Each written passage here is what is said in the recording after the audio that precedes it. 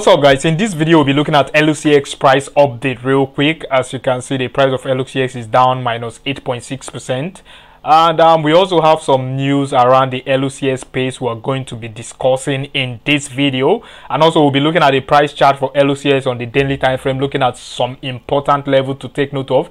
Also the BTC dominance we'll be looking at the chart.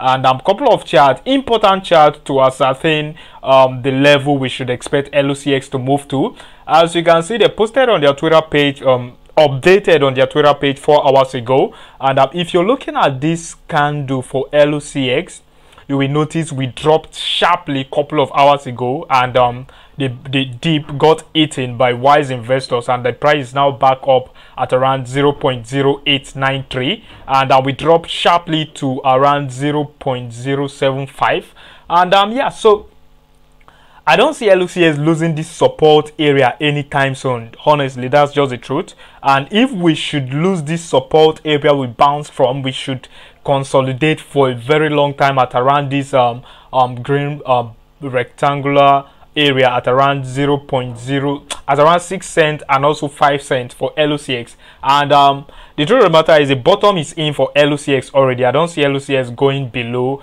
um, that anytime soon so they said to achieve growth, it is important to focus on the right thing, and sometimes that means letting go of futures that nobody uses. We announced a month ago that um, we are closing the sub product, the LCX terminal, and um, they initially have a sub um, uh, aspect in the LCX um, platform called the LCX terminal where you can see trending um, project and also do a lot of stuff with it. And um, the CEO also retweeted it. He said the focus is key Okay, he said focus is a key principle um, that guides successful startup. To achieve great, it is important to focus on the right thing and sometimes that means letting go of the small features that nobody uses and double down on where we see most growth and demand at LCX. you understand?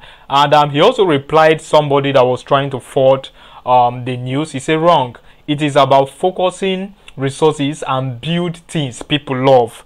Demand for LCX terminal has been declining over the last 24 months.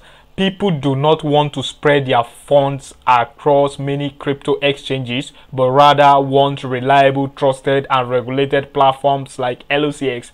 As um, some of you already know, LCX exchange is one of the top-notch exchange out there. They are regulated and um, they are getting to tier one exchange very soon. Let's just check the um some fundamentals and sentimentals out real quick on on um, coin market cap. So the price of LCX is currently at around 0.08855 and the price is down minus minus 8.7 percent in the last 24 hours. Okay the truth of the matter is now LCX is a very very undervalued um crypto exchange and also the token the LCX token is a very very very very undervalued um, um, um project you understand? Considering the very low total supply and maximum supply which is less than a billion LCX token and also considering the market cap which is less than 100 million dollars. The market cap is already sitting at 68 million dollars. This project can easily get to 10 dollars in the coming bull market cycle. You never can tell. Anything can happen. You can even surpass that. By the time the exchange starts growing bigger and bigger bigger you should expect the value of the token to also skyrocket. That's the truth. And if this LCX um project is to get to uh, is to get to ten dollars per token. Ten dollars per token. If it's to get to ten dollars per token we should expect a market cap of around seven billion dollars. And also that should give anybody that is invested let's assume you threw in one thousand dollars now at this current price we should expect at um, a return on investment around 111 okay yeah 111x of your return on investment, um, your one thousand dollars should turn into around hundred and something over hundred thousand dollars. You understand? That's the potential this project have. If you're investing, think long term. Think long term. Like seriously. And um, yeah, so let's go back to the charts and um, this let's just check BTC dominant out real quick so BTC dominant is currently sitting at around almost 15 50% is sitting at um 47.6% for the BTC dominant on the daily time frame. And the reason why the market, the altcoins are not pumping yet is because BTC it out, is outshining them. The dominant is too much. So BTC dominant needs to correct to around 44.44 um, and also um, correct to around 43 for altcoin to have a relief, a little bit of relief rally. And if we, BTC dominance should drop, which we are expecting it to drop massively to around at least 40%, oh my god, then altcoins are likely to perform massively well. So we should be expecting BTC dominant to drop to around uh, 40%,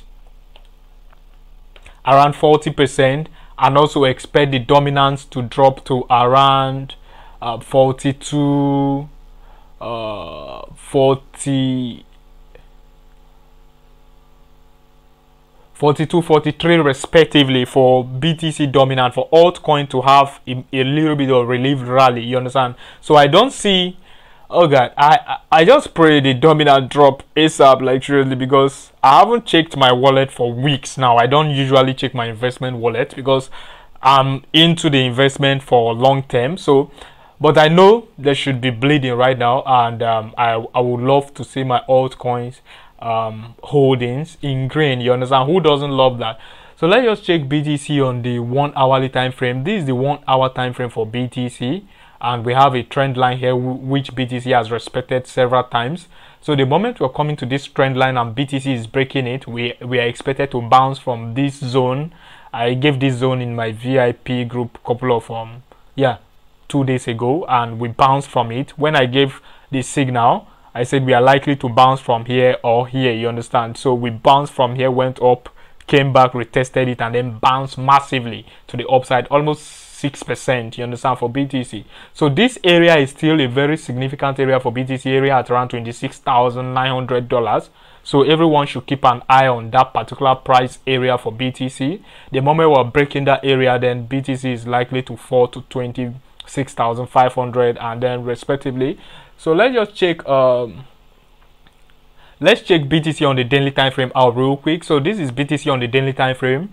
I'm expecting the price of btc to um pump a little bit to around close to 29 thousand dollars before retracing to twenty-five thousand dollars. And twenty-five thousand dollars support is not that strong to me. It's not that significant to me because since we broke that area very um, easily i think we are likely to also break down by the time the price corrects to that level. You understand?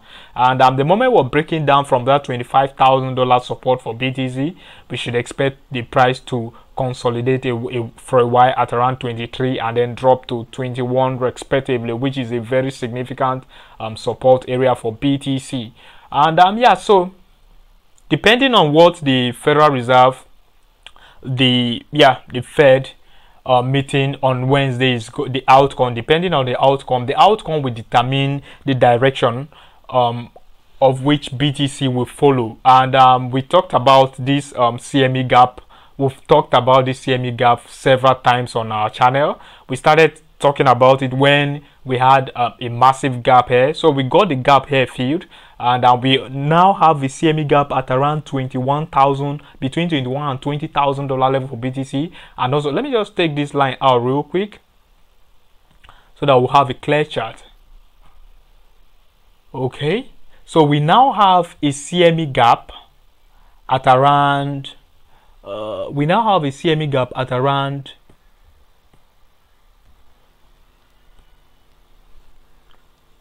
we now have a CME gap at around $27,000 for level for BTC and also 26 uh, yeah okay. We have a CME gap between 27 and 27 thousand dollars yeah around 27 thousand dollars for BTC as you can see.